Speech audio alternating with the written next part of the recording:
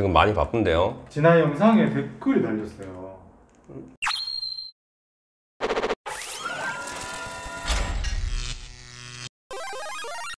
무슨 댓글이요? 어떤 학생이 질문을 올렸는데요. 지금 답변 좀 해주면 안 돼요? 아, 바쁜데. 무슨 나, 뭐 질문이 뭐죠? 대국권대학 준비 중인데 네. 고등학교 자퇴 후 검정고시 출신인데 많은 지장이 있을까요?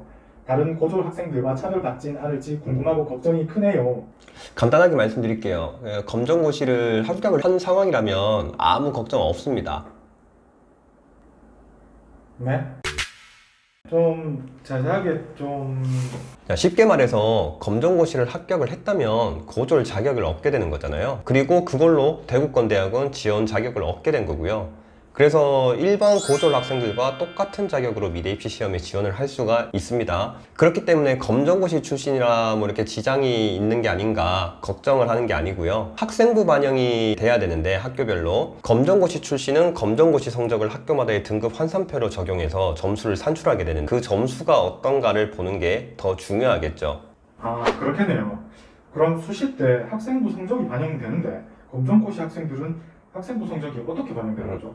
먼저 경북대는 성적 반영 없이 비교과 출결 점수만 10%를 반영하게 되는데요. 검정고시 응시한 전 과목의 취득 성적을 반영하게 되는데 96점 이상 2등급, 91에서 96점 미만 3등급, 86에서 91점 미만 4등급, 81에서 86점 미만 5등급, 그리고 76에서 81점 미만이 6등급, 71에서 76점 미만 7등급, 그리고 71점 미만 8등급으로 해서 각 등급별 출결 등급으로 점수가 반영되고요. 개명대의 경우 검정고시 응시 전 과목의 취득 성적을 반영을 하게 되는데 96점 이상 2등급, 90에서 96점 미만 3등급, 84에서 90점 미만 4등급, 78에서 84점 미만 5등급, 72에서 78점 미만 6등급, 66에서 72점 미만 7등급, 66점 미만 8등급으로 적용이 되고요.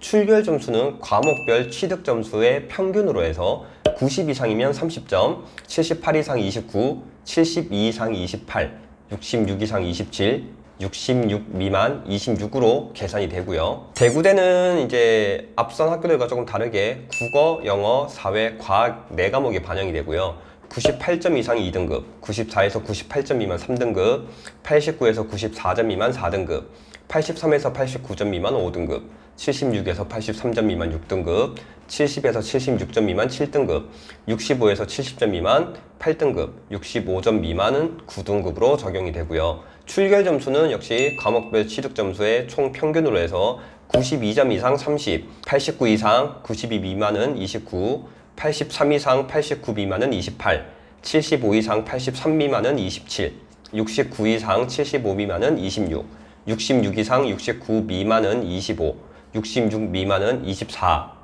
이렇게 환산돼서 적용이 됩니다. 영남대는 응시 과목 전 과목을 반영을 하고요. 100점이 2등급, 95에서 100점 미만은 3등급, 90에서 95점 미만 4등급, 85에서 90점 미만 5등급, 80에서 85점 미만 6등급, 75에서 80점 미만 7등급, 75점 미만 8등급으로 계산되고요.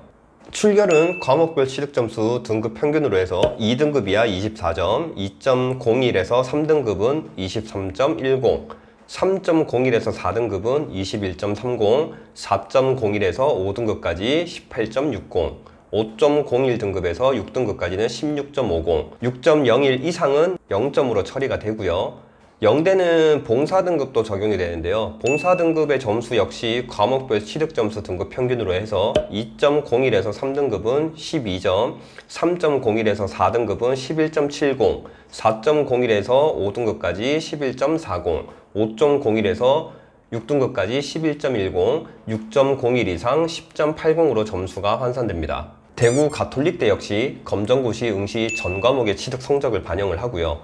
96점 이상 2등급, 90에서 96점 미만 3등급, 84에서 90점 미만 4등급, 78에서 84점 미만 5등급, 72에서 78점 미만 6등급, 66에서 72점 미만 7등급, 66점 미만 8등급 이렇게 적용이 되고 출결 점수는 역시나 과목별 취득 점수를 평균으로 내서 96 이상 40, 90 이상 39.6, 80 이상 39.2, 70 이상 38.8, 70 미만 38.4로 계산이 되고요.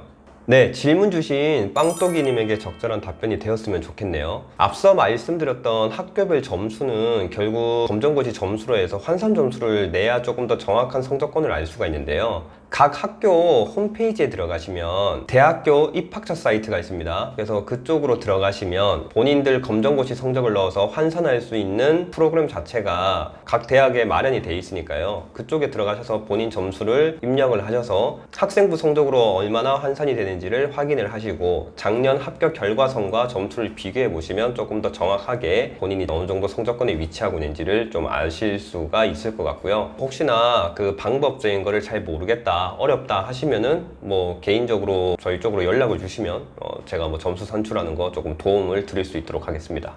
또 궁금한 것 있으면 언제든지 댓글 달아주세요. 네, 조원쌤 답변 감사합니다. 음, 그러면 저는 이만 길 갈게요. 네. MSG 화이팅! 파이팅!